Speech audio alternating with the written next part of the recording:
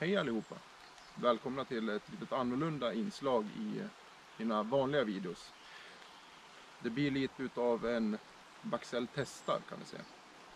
Eh, den här videon är i samarbete med C24 Bygg, CH Järn. Där eh, de ville att jag skulle prova Makitas nya motorsåg. Eh, det är en batteridriven motorsåg. Den har effekt på 1,6 kW. Jag tänkte att den ska få tävla lite mot kanske något orättvist eh, 550 XPG Mark 2. Eh, det finns några likheter, några skillnader såklart. Eh, förbränningsmotor och batterisåg. Husqvarnan levererar i cirka 3 kW, 3,0 enligt produktspec och Makitan 1,6 kW. Båda ska kunna producera en kedjehastighet på 25 meter per sekund. Eh, det ska bli kul att se om Makitan lever upp till det och hur länge den lever upp till det ju mer batteriet tar slut så att säga. Eh, vi har några ganska granna granar. Inget speciellt. Eh, snittet ligger på ungefär 20 cm i diameter i brösthöjd. Och jag tänker att det kan vara ett bra test för den här Makitan att få, få visa sig värdig. Kanske för hemmabrukaren som behöver en tyst såg men ändå effektiv och, och prisvärd. Eh, vi gör några kattest och kollar några trisser. Hur fort den kan skära igenom. Om den skär lika fort som Husqvarnas förbränningsmotor. Eh, ja. Kul att ni är med. Eh, vi provar lite funktioner. Så. Ganska enkel design, användarvänlig. Det behöver inte vara massa lullull som vi kan uttrycka det. Väldigt tydlig och enkel strömbrytare, start och stoppknapp. Tydligt och enkelt kastskydd som aktiverar kedjebroms. Det att komma ihåg, det är ju såklart oljan. För även om det inte är en förbränningsmotor som behöver bensin så behövs det fortfarande sågkedjeolja. Det är en inställbar oljepump så du kan ställa hur mycket sågkedjeolja du vill att ska komma. Det tycker jag är en jättebra fördel. Det går att byta ut svärden och kedjorna och kanske få längre eller kortare och därmed så ändras ju också behovet av hur mycket sågkedjeolja som ska komma ut. Eh, modellen kommer med verktygsfri kåpa för kopplingen, även om den här har med svärdsmuttrar. Jag gillar det, jag tycker om det, det känns mer robust. Batteriet jag har idag är ett 40 volts 5 amperes batteri. Mm, jag har hört mycket gott om det. Vi ska se om det levererar.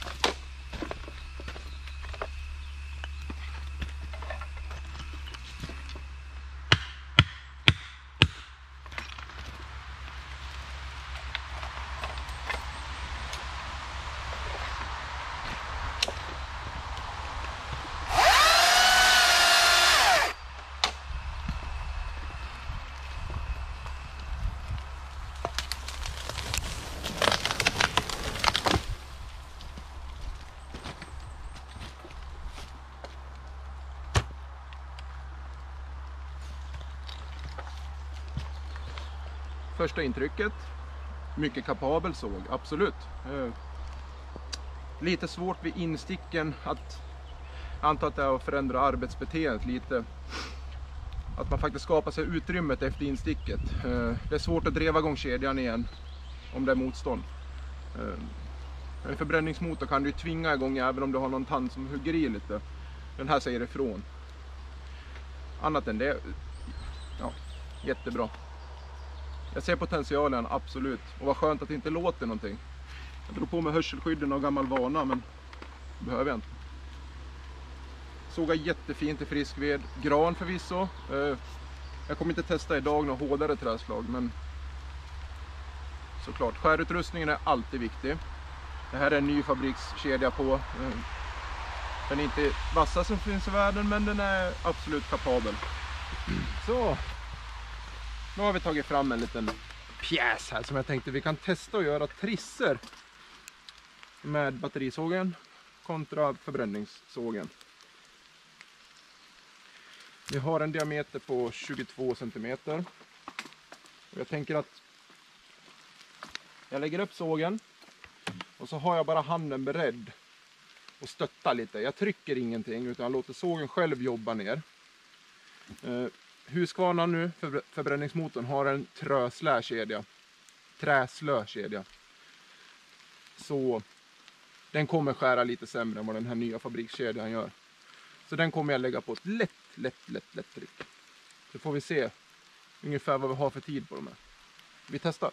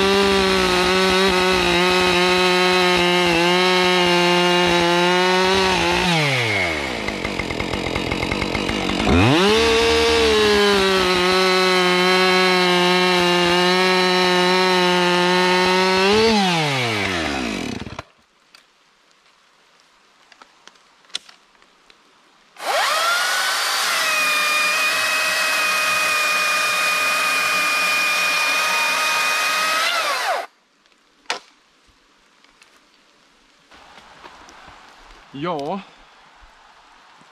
jag tycker att eh, resultatet talar sitt tydliga språk. Makita säger 25 sekundmeter.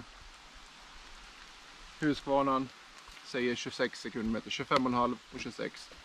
Eh, jag tycker att Makitan lever upp till det. Eh, den producerar tillräckligt med kraft för att orka driva sin förvisso 1,1 mm drivlängdsbredd kontra 1,3 Eh, men kom ihåg då att det här är 3 kW, det här är 1,6 kW.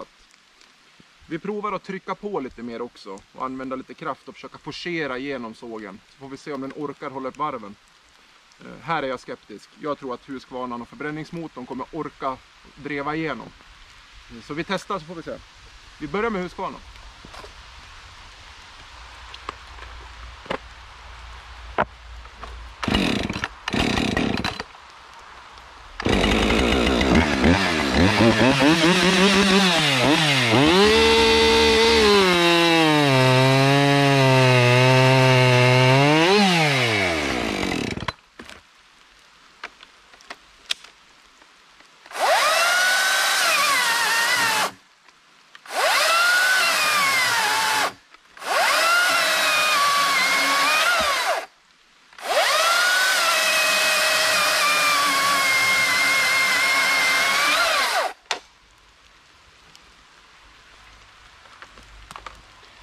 Ja, ni märkte själv att vid för mycket ansträngning då bryter sågen. Däremot så jag fick trycka på ganska bra ändå och tycker att om jag bara om jag tänker att jag jobbar enligt mitt vanliga arbetssätt som jag gjorde på sista eh, motkap, eller kapet då då orkar han, han levererar. Jag tycker definitivt att Makitas 40 volt såg är passar hemägaren perfekt. Och jag skulle absolut kunna tänka mig att ha en den här med mig som ett komplement i min eh, arsenal. Funkar ju jättebra när man är på villatomter. Kanske vill sätta igång tidigt och inte störa. Utmärkt att börja med den här då. Eh, nu är det ett 14 tums svärd och för att vara en batterisåg är väl det helt respektabelt bra, absolut. Vi har 15 tum på förbränningsmotorn. 14 tum kommer du jättelångt med. Eh, kom ihåg att fylla på olja. Normalt sett så lär vi fylla på bensin, annars slutar motorn fungera på förbränningsmotorn.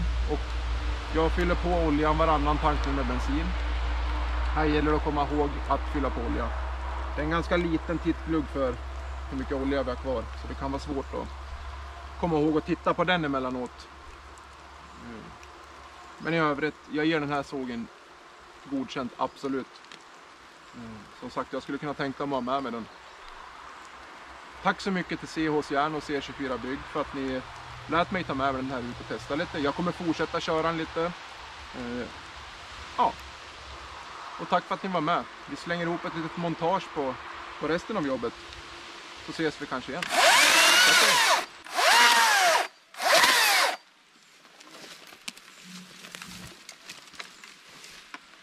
Jo, en sak till. Jag gillar inte hur han stänger av sig ganska snabbt. En sekund så dör han. Då lär vi starta den igen. Jag vet inte om det finns någon funktion som gör att den, här, att den håller sig längre. Det verkar som att så länge jag håller gasspärren intryckt, då är han aktiverad. Vilket i sig är konstigt, för det är då vi har det farliga momentet. Det är då vi kan råka komma åt och aktivera gasen. Eh, Makita, ta med er det här. Ett lite annorlunda system. Jag vill att den ska vara aktiverad åtminstone 5-10 sekunder efter att du har släppt allting. För när vi plockar bort en kvist, när vi går och kvistar våran stam, då släpper vi ju inte då släpper vi högerhanden och inte vänsterhanden. Och släpper vi gasspärren, då dör han. Då lär vi starta om han. Och har man det här eh, med förbränningsmotor i ryggmärgen, då kommer motorn fortsätta gå. Här dör han. Ta med det Makita. Annars, bra.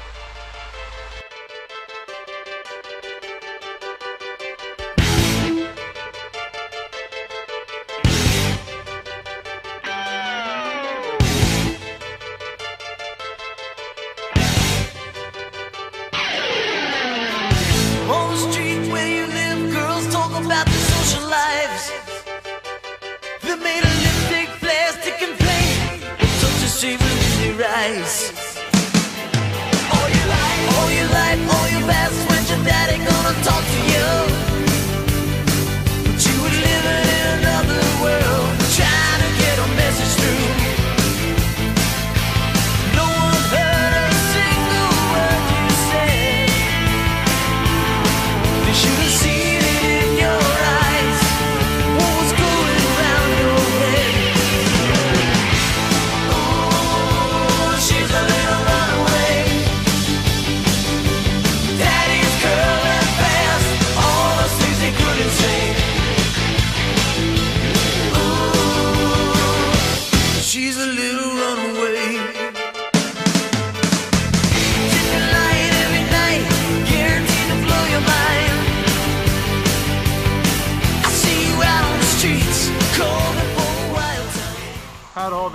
Träd, sly eller träd som har böjts med och hamnat under stammen som vi nyss fällde.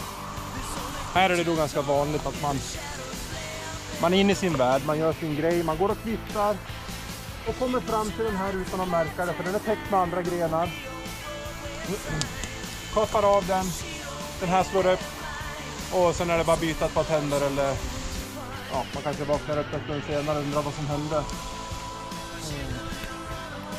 De här ska vi ta hand om på ett speciellt sätt. Vi skaver ur. Det är en öppning på bara trycksidan, öppning på trycksidan och skaver ur. Jag ska visa hur det ser ut. Det tar några sekunder extra, men det visar på att man har det här äh, konsekvenstänket och äh, säkerhetsfunktionen inbyggd i ryggmärgen. Då kommer jag göra så att jag kommer bara skava på undersidan av trädet. Insidan som vi kallar för kompressionssida eller trycksida. här är fibrerna ofritta i och med böjen. Och på andra sidan, dragsidan, vill fibrerna dras ut ifrån varandra. Skulle vi sätta sågen på baksidan och såga här nu, så skulle alltså det här trädet fullkomligt explodera. Nu är det av liten kaliber, men det kommer kännas ändå. När man putsar ur, då vill man helst hålla sig på insidan av böjen, där böjen böjer som mest. Här blir det ganska oergonomiskt. Jag kommer därför flytta ner hit, där jag kommer kunna stå i en bättre arbetsposition. Eh, och så får vi försöka få det här att sakta kollapsa. Avväpna hela situationen på ett odramatiskt sätt. Vi kollar om jag kan få till det.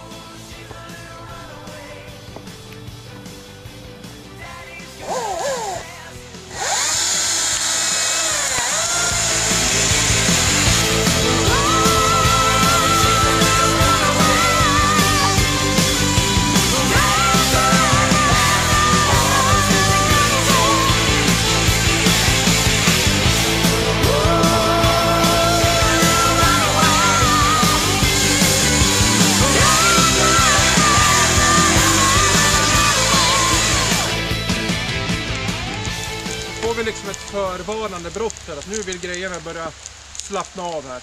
Då kan vi ta ett steg tillbaka, kolla vad som händer. Och vi ser att hela bågen slappnar av. Spänningarna släpper. Klart. När vi kommer hit är det bara att fimpa av den.